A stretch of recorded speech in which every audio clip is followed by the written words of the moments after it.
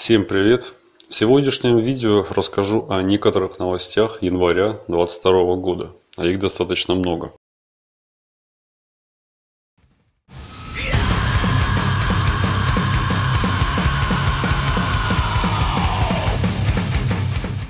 Двадцать девятого июля интернациональный melodic death metal коллектив Arch Enemy выпустит свой одиннадцатый студийный альбом, который получил название Deceivers на лейбле Century Media. По словам музыкантов, на пластинке будет 11 запоминающихся и жестоких треков. Новый третий по счету сингл Handshake with Hell выйдет уже 4 февраля вместе с началом предварительного заказа самого альбома.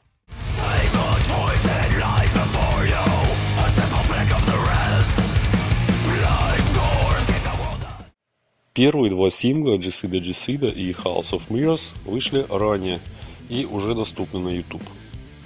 Комментирует гитарист Майкл Эммот. Цитата. Без сомнения, всегда не просто каждый раз поднимать планку как в написании песен, так и в продюсировании. И это может показаться немного сложным, прежде чем мы приступаем к делу. Но как только мы начинаем и полностью погружаемся в творческий процесс, нам действительно кажется, что в мире больше ничего нет, и мы очень сосредоточены. И хотите верьте, хотите нет, но по большей части мы получаем массу удовольствия, создавая эту музыку создание нового альбома ничем не отличалось. Мы снова отгородились от внешнего мира и углубились в художественный процесс. Я считаю, что на этот раз мы использовали несколько действительно интересных музыкальных и лирических тем. Некоторые вещи могут даже показаться странными, сохраняя при этом все характерные элементы группы. В конце концов, это Arch Enemy на полной скорости и мощи.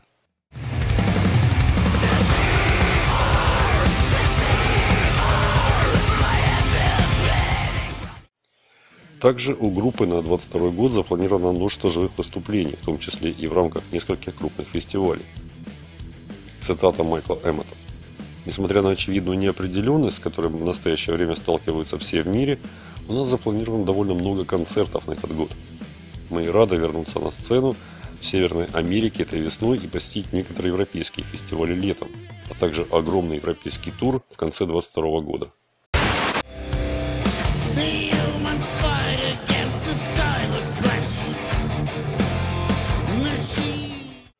Удо Диркшнайдер, настоящая легенда немецкого хэви-металла, один из основателей и бывший вокалист группы Accept, вместе со своей группой U.D.O. 22 октября прошлого года выпустил новый альбом, который стал уже то ли 17-м, то ли 18-м полноформатником для коллектива. Что? Опять? И вот недавно стало известно, что U.D.O. выпустит новый альбом, который получил название My Way, и выйдет он 22 апреля уже текущего года. Пластинка объявлена как самая личная и экстраординарная на сегодняшний день и содержит 17 кавер-версий тех песен, которые больше всего повлияли на музыканта. Среди них все виды классики из истории музыки, в том числе и те, которые откуда не ожидал никто. За каждым треком стоит не только очень личная история, но и удивительная аранжировка, которая, несмотря на очень индивидуальную реализацию, живет и дышит стилем Уда.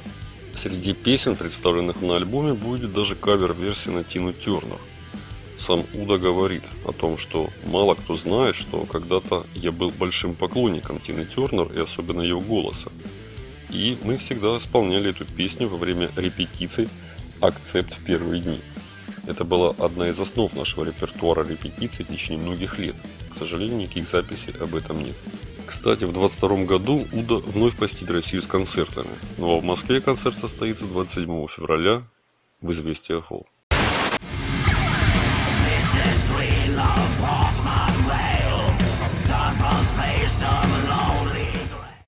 Один из основателей и бывший участник black metal группы Immortal Ольви Эйкема, он же Аббат, 25 марта этого года выпустит свой третий полноформатный альбом в рамках своей группы под одноименным названием. Пластинка выйдет на лейбле Season of Mist и будет называться Dredge Reader. В записи альбома принимали участие, ну, само собой, сам Аббат на гитаре, бас-гитаре и вокале, Оли Фарстад, гитара и акустика – барабанщик Укри Сувелехта и, внимание, изгнанная по непонятным до сих пор причинам басистка Мия Уоллес, которая приняла участие в записи баса для нескольких композиций. Альбом был записан сразу в двух студиях, а мастеринг был выполнен так вообще в Лос-Анджелесе. На пластинке будет 10 композиций, включая кавер-версию песни Trapped Under Ice группы Metallica с альбома Ride the Lightning. Пока же доступен сингл, на который был снят видеоклип Dream Call режиссером Франциско Мьюнесом. В клипе снялся сам Аббат, местами пританцовывая, строя страшные гримасы, давая благодатную почву для новых интернет-мемов.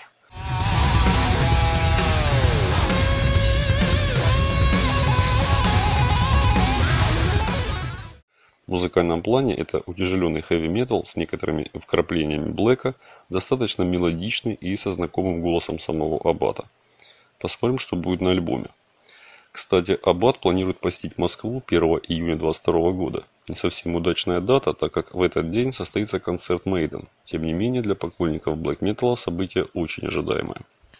Концерт состоится в Известия Холл.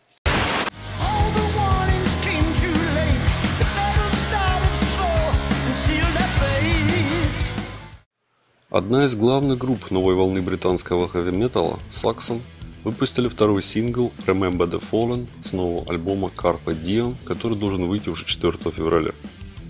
Один из основателей вокалист коллектива Биф Байфорд рассказал, «Я хотел написать песню о ковиде, о людях, которые умерли и рассказать о своем восприятии того, как это произошло. Некоторые аспекты всего этого довольно загадочны, и, конечно, это все еще не закончено. На новый сингл уже снят видеоклип, доступный на YouTube. Новый альбом был спродюсирован Энди Снипом, который сам является гитаристом и был участником групп Sabbath и Judas Priest. А в качестве продюсера работал с Accept, Benediction, of Filth, Exodus и многими другими. Гиф Байфер продолжает. Очевидно, что Энди очень хороший гитарист, но он не блюзовый гитарист, как наши ребята. Он скорее работает в современном стиле. У него отличный звук, и мы хотим сохранить тот британский металлический гитарный звук, который мы создали для Saxon. И он определенно вышел из 80-х.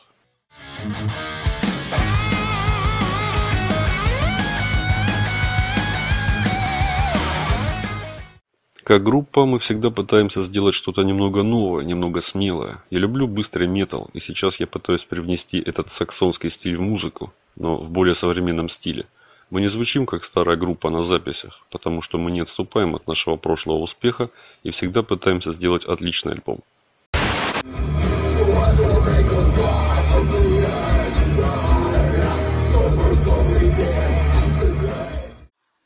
Появилась новая группа Left to Die от бывших участников группы Dead. В новую группу, имеющую логотип, очень напоминающий логотип группы Dead, Входят гитарист и вокалист Мэтт Харви из Exhumed и Gruesome, гитарист Рик Роуз, бывший участник Dead, бас-гитарист Терри Батлер из Obituary и тоже бывший участник Dead, и барабанщик Гас Риос из Gruesome. Молодой коллектив в настоящее время работает над своим дебютным EP и летом 22 года планирует отправиться в тур с программой, состоящей из альбомов группы Dead Leprosy и Scream Bloody Gore. Гитарист Рик Роуз – для меня будет абсолютной честью и удовольствием сыграть эти песни 34-летней давности на сцене с Терри Баттером после всех этих лет. Харви и Риус оба были очень рады объединению проекта.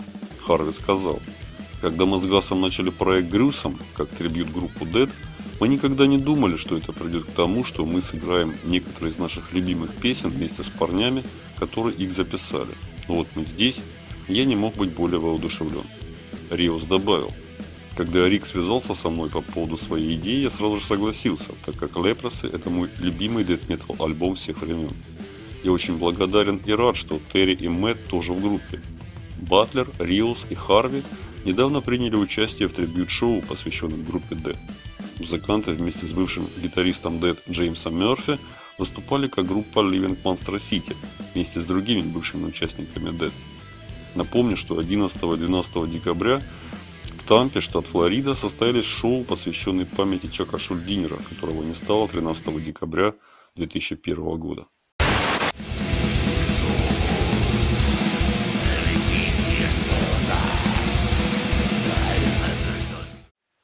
Группа Мейхем включена в норвежский зал славы Рокхайм. Рокхайм расположен в городе Тронхейм, является залом славы музыки в Норвегии – Лучшие образцы норвежской музыки с 50-х годов до сегодняшнего дня находятся в этом большом доме. Среди награжденных в разное время были и мировые звезды Аха и хард-рок группа TNT. В 2021 году награды получили The Monroes и of Steel. Вряд ли вам о чем-то скажут эти названия.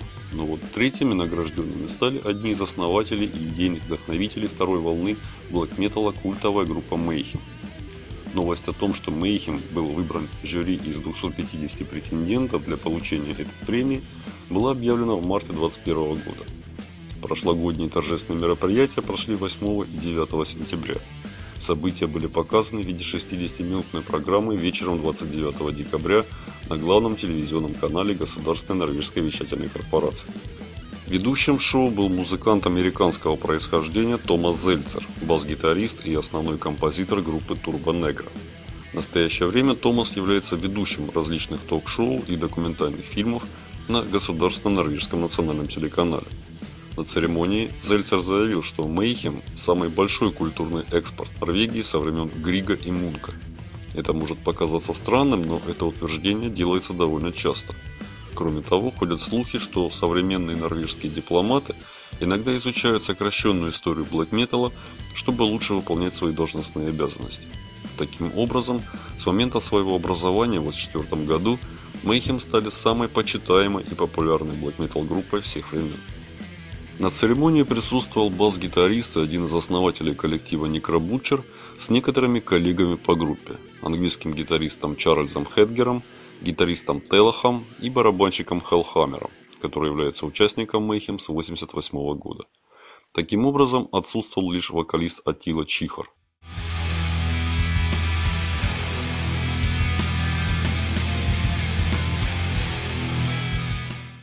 Коллеги Mayhem по black metal сцене собрали супергруппу, чтобы исполнить в их честь одну из лучших и самых знаменитых композиций Mayhem Freezing Moon. Супергруппа включала следующих музыкантов. Гаал, бывший вокалист Гаргород, Андерс Оден из Кадавр, Самат и Трим Торсон из Emperor и Снори Рух из Торренс, который в свое время был вторым гитаристом Mayhem и даже написал некоторый материал для дебютного альбома The Mysterious Dom Satanas но, к сожалению, отбывал тюремное заключение, так как некоторым образом был причастен к убийству Иеронимуса в 1993 году.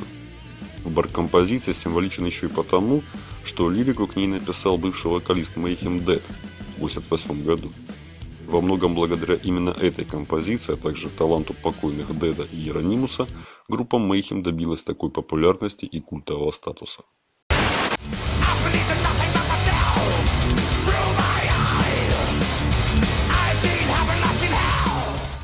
Группа Creator записала новый альбом. Об этом вокалист и гитарист коллектива Мили Петроца объявил на своей странице в Инстаграм в канун Нового года. Это станет их юбилейным 15-м полноформатником и первым альбомом 17 года, когда вышел Gods of Violence. Новая работа должна выйти летом этого года, а первый сингл уже совсем на подходе. Сам альбом был записан осенью 2021 года с продюсером Артуром Риском – Кроме того, это будет первый альбом с участием бас-гитариста Фредерика Леклерка, который заменил Кристиана Гизлера, который был членом Creator более 20 лет. Последний альбом коллектива Gods of Violence, который вышел в 2017 году и собрал противоположные мнения. Многие критики обвинили Creator в безликости, безыдейности и самоплагиате. Другие говорили о том, что группа, возможно, достигла своей вершины, от альбома к альбому делает просто хорошую музыку. В любом случае, Прошлый альбом это интенсивный, разнообразный трэш-метал, еще более мелодичный и чуть менее скоростной, чем раньше. Кроме того, в альбоме использованы оркестровые аранжировки. Кстати, Миланд Петроца и Юрген Вентеррайль с коллегами в апреле 2022 года посетят Россию с концертами, которые пройдут в Москве, Новосибирске, Екатеринбурге и Санкт-Петербурге.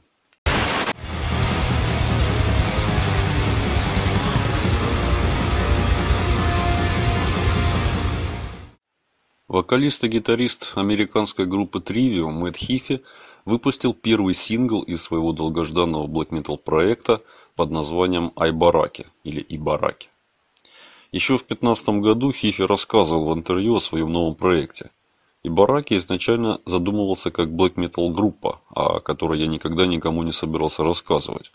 Я собирался написать музыку, и она должна была быть довольно верной стилю второй волны 90-х, Блэк метал вроде Доктрон, раннего Диму Бергер и раннего Emperor. Но хотя проект уходит своими корнями в блэк метал, он стал чем-то гораздо большим. Это не просто metal, это все, что я когда-либо хотел попробовать. На первом сингле в качестве специального гостя присутствует Исан из Emperor, который был соавтором лирики и сыграл гитарное соло, а также стал продюсером проекта.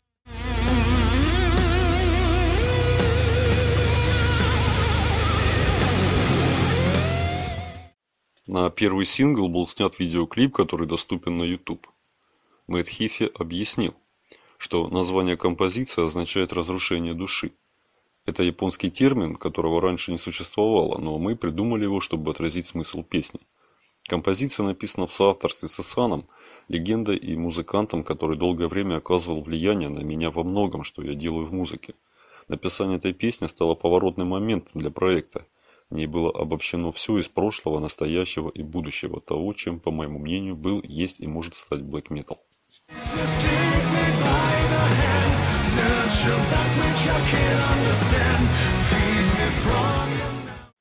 Сам Хифи, как известно, имеет японское происхождение, а Ибараки – это имя ужасающего японского демона, которое взято из легенды. Вот что говорит Хифи о самом проекте – Моя любовь к блэк металу в конечном итоге породила идею создания побочного музыкального проекта, основанного на тех же ранних ценностях норвежского блэк металла, то есть проект, окутанный анонимностью, о котором никто никогда не узнает. Но это близорукость небольшой группы фанатов, которую я изначально хотел попытаться понять, но однажды я подружился с новым наставником, который помог изменить это мировоззрение благодаря его музыкальному и художественному влиянию. Поэтому идея Black Metal проекта, который я намеревался сделать, полностью приняла новую форму. В общем, как-то так. Получается, что изначально Хифи хотел сделать что-то типа True Black Metal, образца начала 90-х, но старший товарищ в лице Исана его переубедил и в результате получилось не True. Новая форма проекта, о которой сказал Хифи, не очень далеко ушла от привычного Trivium, но с довольно большими кусками современного Black Metal с кристально чистым и отшлифованным звуком довольно мелодичным, но в то же время мощным. Во всяком случае, дебютный альбом должен получиться довольно интересным. На этом все. Спасибо за внимание. До новых встреч.